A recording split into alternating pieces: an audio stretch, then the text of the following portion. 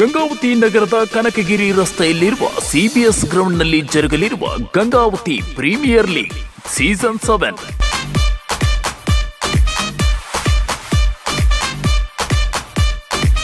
ಆಯ್ದ ಎಂಟು ಫ್ರಾಂಚೈಸಿ ತಂಡದಿಂದ ರೋಚಕ ಹಣಾಹಣಿ. ತಾಲೂಕಾ ಮಟ್ಟದ ಲೀಗ್ ಮಾದರಿಯ ಕ್ರಿಕೆಟ್ ಪಂದ್ಯಾವಳಿಗಳು. ಆಕರ್ಷಕ ನಗದು ಬಹುಮಾನ.